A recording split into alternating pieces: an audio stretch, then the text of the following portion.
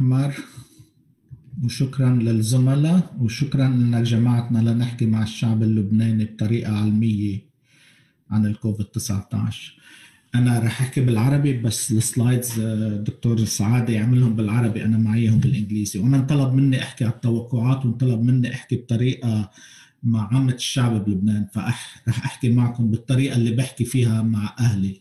كأني عم بحكي مع أهلي بلاسا بضيعتي من محل ما أنا ما طلعت نحن بنعمل توقعات للكوفيد 19 للمستقبل بنعملها للسنة كلها لآخر السنة وبننشر بس لاربع أشهر منها. وطبعا لنعمل هالتوقعات ضروري نحن نعرف إشياء بكل بلد بنعملها لكل بلد بالعالم. نسبة الناس اللي بالبلد تستخدم الكمامة نسبة الناس لما بتتحرك بتروح وتجي بالبلد لأنه نحن من الناس تقعد ببيوتها وتبعد عن بعضها.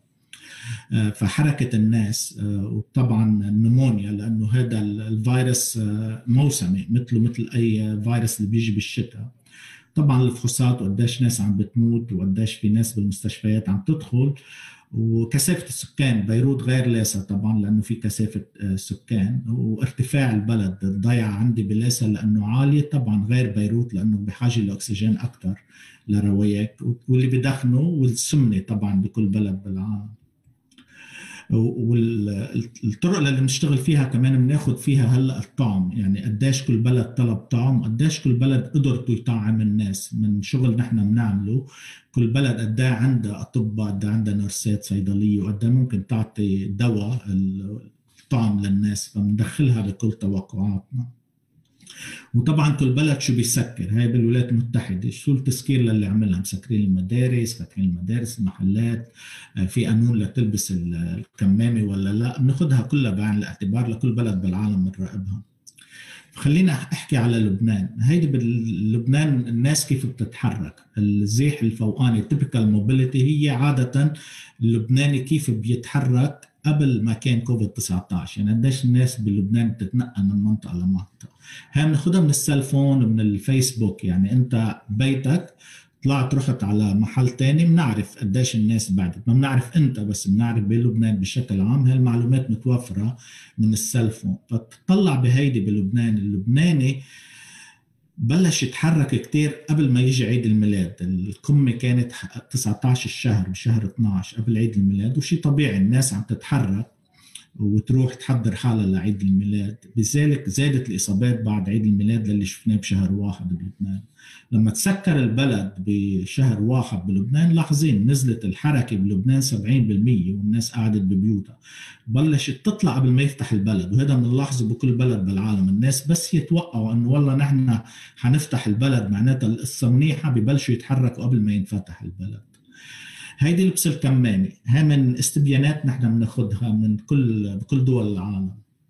لبناني لبس الكمامة 70 نحن بنحب توصل ل 95% طبعا قليلة جدا بلبنان.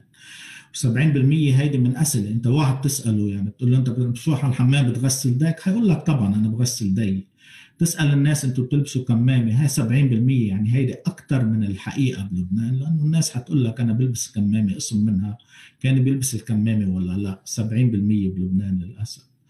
كل هيدي لما بنحطها مع بعض نحن بلبنان توقعنا الاصابات بسبعة شهر واحد وصلت للقمة بلبنان 10340 إصابة ورح تنزل لأنه حيساعدنا دخول الصيف بلبنان بالأشهر اللي جاية.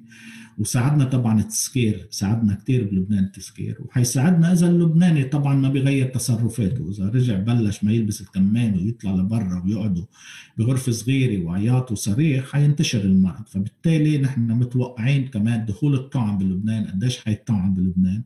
كمان إذا التطعيم ماشي بلبنان مثل ما متوقع حتنزل الوفيات طبعا حتنزل بلبنان بلشت تنزل معدلها حيضل ينزل لآخر الصيفية لأنه التأس وطبعا قصة إنه الناس حتنقل لبرا تفتح الب... تقعد بالبرندات تفتح الشبابيك. حتى توقعاتنا للبنان لشهر أول شهر ستة 4660 وفاة للأسف يعني بلبنان. تنقص وبتزيد بإيد اللبنانية وبإيد الدولة اللبنانية. هيدي بدي نركز عليها خلال الكلمة. الخوف هلأ من التحور اللي عم بيصير اللي عم نسمعه إنه من عدة دراسات إنه التحول اللي عم بيصير ببريطانيا سريع جدا انتشاره وعم ياخذ لما بيدخل على منطقة عم هو يسيطر عليها. عندنا بأمريكا صار هو الاساسي اللي عم ينتشر. بس هذا ما بخوفنا قد للي عم يجي من جنوب أفريقيا وللي من البرازيل جنوب أفريقيا للي هلأ عم نعرف عنه إنه الإصابة القديمة بكوفيد 19 ما بتحمي منه. وهيدي الدراسة من نوفا فاكس من الدراسة السريريه اللي عم يعملوها على الطعم تبعهم. للأسف عم نلاحظ إنه الإصابات القديمة ما بتحمي من هذا التحور الجديد والبرازيل الظاهر نفس الشيء. وكمان بيأثر على مدى فعالية الطعم للأسف. سمعتوا كلكم بالإعلام أنه جنوب أفريقيا بطلت الطعم أسترازينيكا لأنه خايفين أنه مفعوله قليل جدا. ففي خوف أنه نسيطر على هذا المرض بأكبر سرعة ممكنة وإلا حيتحور وحيصير الطعم ما ينفعنا وبالتالي هذا سباق مع الوقت. أنا باختصار رح أحكي شوي على قصة التطعيم بلبنان لأنه الطعم هو مثل ما تفضلوا زملائي اللي قبل هو الأساسي اللي حيساعدنا نخرج من هالمحنة هيدي.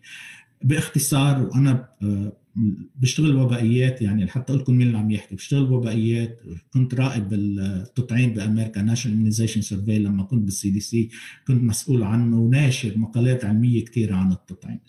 فخليني كم إشاعة بلبنان عن التطعيم أهلي طلبوا مني ودائما بيسألوني خليني جاوب عليها بسرعة. السؤال الأول للناس الإشاعة الأولى إنه هذا طعم جديد خاصة ال mRNA للي فايزر. أنا حركز على فايزر هلأ لأنه اللبنانيين حيستخدموا فايزر.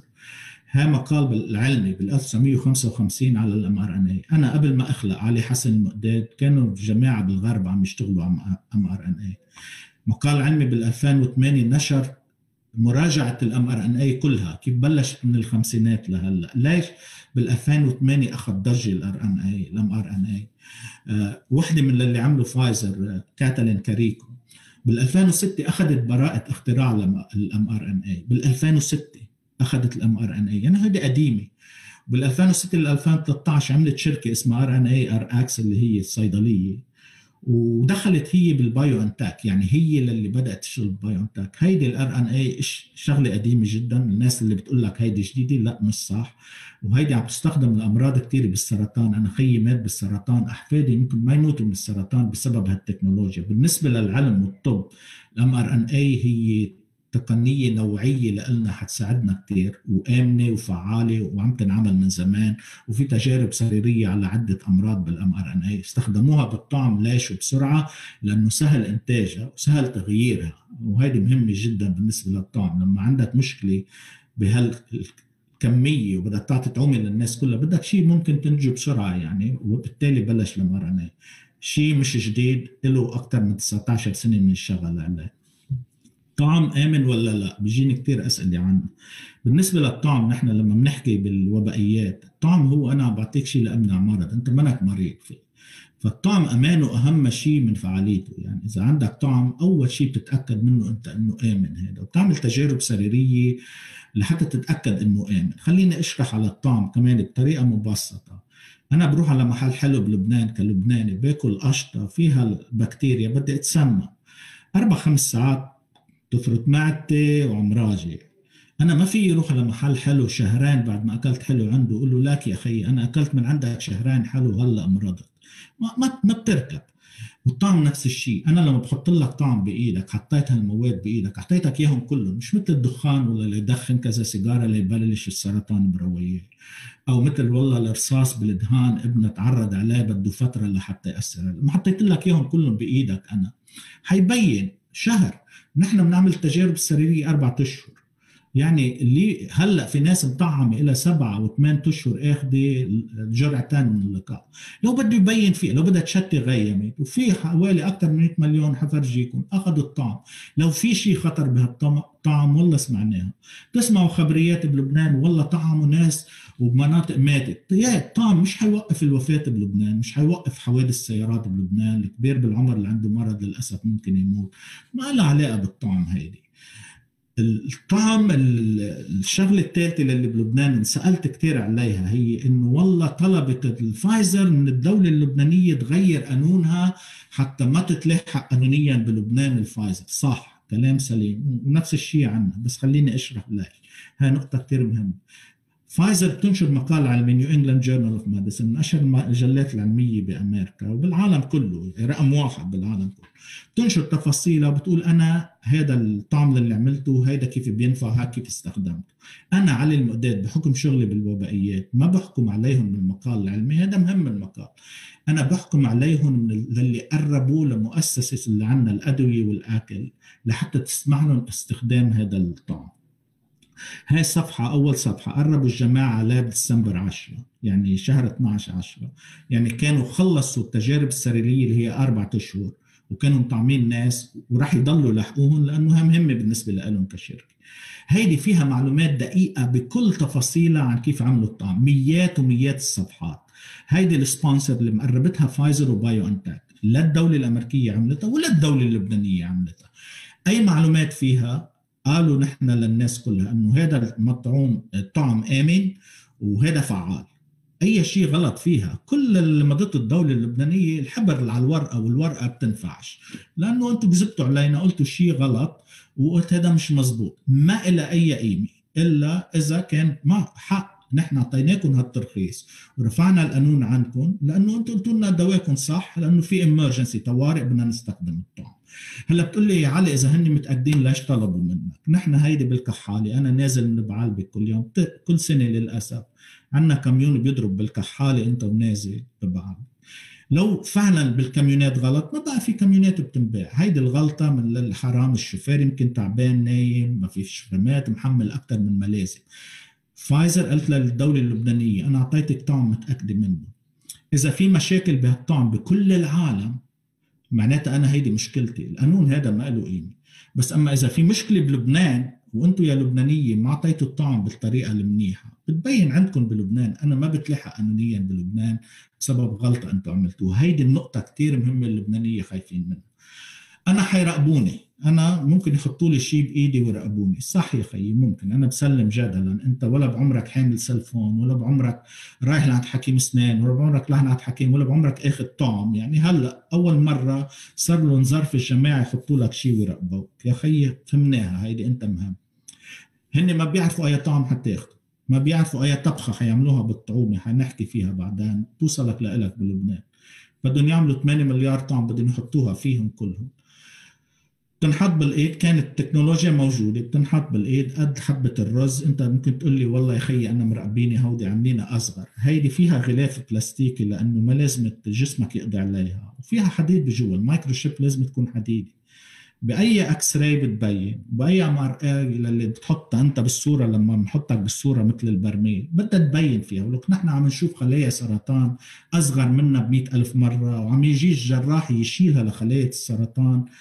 بسهولة. إذا أنت خايف يا خيي وعايش بكهف ولا حدا منك قال لك وممكن يراقبوك وأنت مهم بس تاخذ الطعم اتكل على الله روح اعمل MRI بتنكمش وفيك تشيلها سهل. عم يدفعوا للناس لحتى تاخذ الطعم. هاي أشياء. صح مزبوط. Kroger عم يدفع 100 دولار. Kroger سوبر ماركت عندنا بأمريكا. خليني أشرح لك ليش.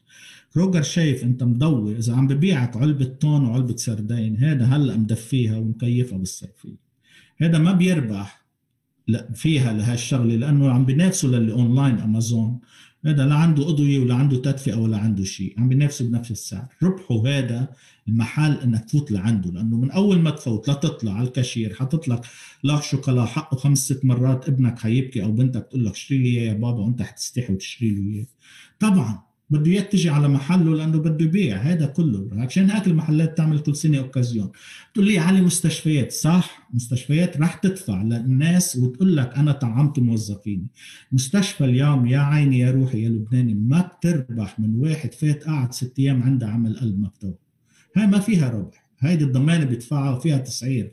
تربح إذا علي المقداد فات شد جلد وجهه. هيدي بنقول لها نحن elective surgery هيدي فيها الربح. فيها تربح elective يعني عملية ممكن يجي واحد يقول لك يا الحكيم إنه لك عندك شغلة أنت بس ممكن تنطر خمس سنين ست سنين لتعملها هالعمليه بس تحب تعملها هلأ. هاي ما بيدفع عليها التأمين. هيدي بنقول لها نحن elective surgery هيدي الربح. طبعا المستشفى بدها إياك ما العالم خايفة تروح على المستشفيات هلأ. بالتالي بده اياك تيجي لعنده. حيدفع ويقول لك وحتشوفوا الدعايات نحن مطعمين يا مسيو نحن مطعمين كل الناس عنا تعال عنا ما تروح لعند غيرنا سبنس أنا طعمت تعال عندي ما تروح لعند الرمال. الآخر شيء أنا ما في أقول لك كلبناني الطعام ولا ما تطعم. أنا في أقول لك أنا أخذت الطعم أنا في أقول لأمي سجلت تاخذ الطعم بس أنا ما في أقول لك تاخذ الطعم هذا قرارك. أنا عندي بنت ما عندي غيرها. كل بيت المقداد بيعرفوا.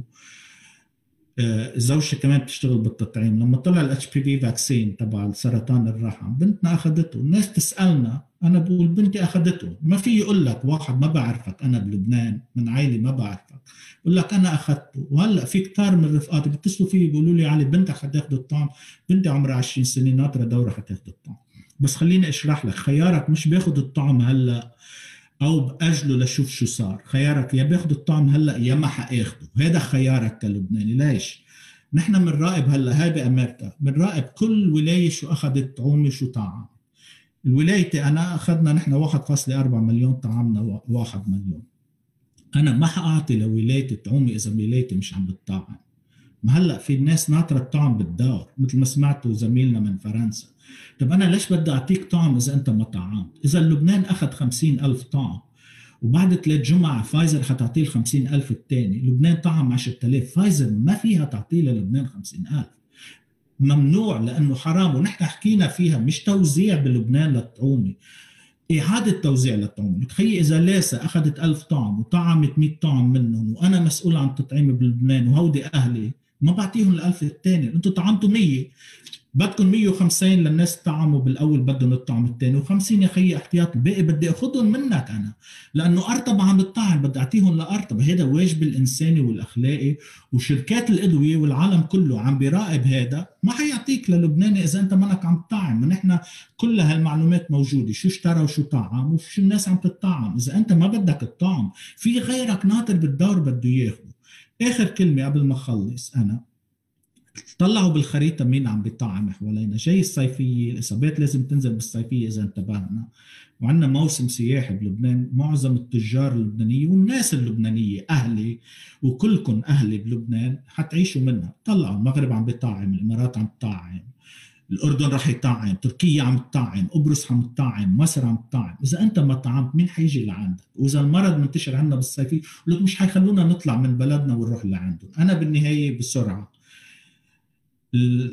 الوباء بإيدنا للبنانية، اللبناني ما في يقول الدولة والدولة ما فيها تقول الشعب، كلنا عنا دور، لبس الكمامة نبعد عن بعضنا، نبعد شوي هلأ. بدك تفتح بلدك على عيني وعلى راسي. كتار من أهلي خسروا وظائفهم ومسكرين محلاتهم. بس افتحوها بالعقل وبالإنسانية. ما في أنا عندي غرفة صغيرة أحط 15 واحد فيها ونقعد نحكي. بدنا ننتبه شوي. مرحلة غير المراحل السابقة. كلبنانية لازم يكون عندنا وعي. كلبنانية لازم يكون عندنا مسؤولية لنحمي بعضنا ونحمي أهلنا بإنه نقلل من تصرفاتنا الخطرة وننتبه ونغسل ايدينا ونلبس الكمامة. بس يجي دورنا. يجي دورنا ناخذ الطعم. أنا نطرت لاجى دوري اخذ الطعم. بنتي ناطرة ليجي دورها تاخذ الطعم. في طريقة توزيع طعم عادلة بلبنان بس يجي دورك خذ الطعم لأنه هذا واجبك الإنساني والأخلاقي. ألف شكر يا دكتور أحمر.